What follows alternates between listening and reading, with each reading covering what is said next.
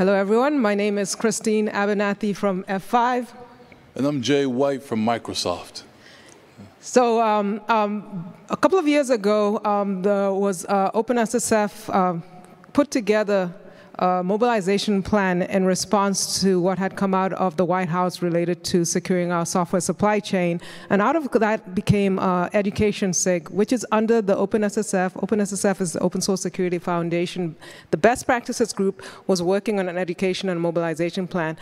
As we walked uh, into that, we thought about what this would mean for DEI, because diversity, equity, and inclusion is something that is really key and important, especially if we want to have more people who are in the workforce who come from these different backgrounds. And this matches up with the strategy that came out of the White House, where we look at if we want to actually expand the global workforce around cybersecurity, we definitely look to, need to look beyond what we traditionally look at.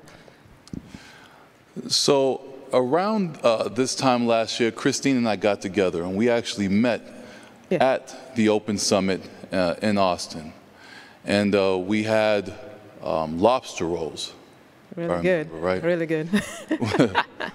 While we had lobster rolls, we said, how cool would it be uh, for more underrepresented communities to end up at conferences like this?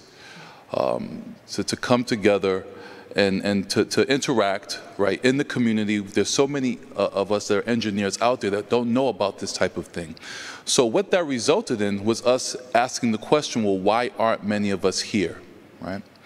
Um, when we got together, we said, well, what can we do? And one of those things was attacking the issue from the beginning, education, right? And you'll see a couple of our goals here under our DE&I um, education subcommittee uh, where we talk about uh, making materials more accessible and then ensuring pathways to success. And looking at that first uh, bullet there, um, it's really about equity at that point, right? How is information getting out across the education spectrum? And then how is education getting out across the social spectrum, right? Um, as part of that effort, our part is to come together, bring other people together inside of our, our subcommittee, uh, for all from different walks of life, from different areas and regions of, of the world, to talk about this problem that's uh, experienced uh, globally. And through that, we get down to the second bullet, talking about ensuring pathways to success. And what does that look like?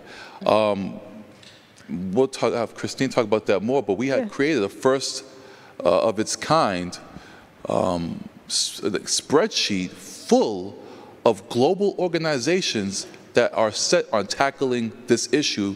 We'd love it if you all saw it. Yeah, and uh, when you're looking at the paths to success, so there's one thing where you may get education and you get a certification, but then what happens next? Do you actually get a job? Um, do you actually find a way to actually get into the career where you can find that rewarding? So when we're looking at ensuring pathways to success, what are the partnerships we need to work with? Who are the people who are looking into mentorship opportunities? Who are the people out there who are actually investing in some of the same problems that we wanted to look at. So when we're talking about this spreadsheet, there are so many people who are working in this area. And we want to make sure that we partner with folks who are already thinking about that, who already have these these things in place, whether it's mentorships, whether it's certification, I'm plugging in with them with a cybersecurity aspect. So that's where we kind of came in. And so we've started working around that. And we also want to partner with some of the other open source security foundation working groups, for example, Alpha Omega, and some of the opportunities that they may have available for some of these underrepresented groups. So those are some of the things that we're thinking about. Um, along with that is making sure that we hold ourselves, hold the communities and programs that we reach out to, and hold the organizations with these kind of programs in it accountable uh, to make sure that everyone receives that effort, that information, and can find us. Here on this slide, you'll see where we meet. Yeah, um, so we definitely want you to join us. We there's so much going on, and we yeah. need everyone. You see there every other Tuesday, 11 a.m. Our next meeting is May 23rd. We hope to see all of you there. There's our Slack channel. Um, And come find us also. We'll be at Open SSF Day, which is happening tomorrow, and we'll also be around all through the conference. Come meet and chat with us and give us your ideas. Thank you all very much. Thank you.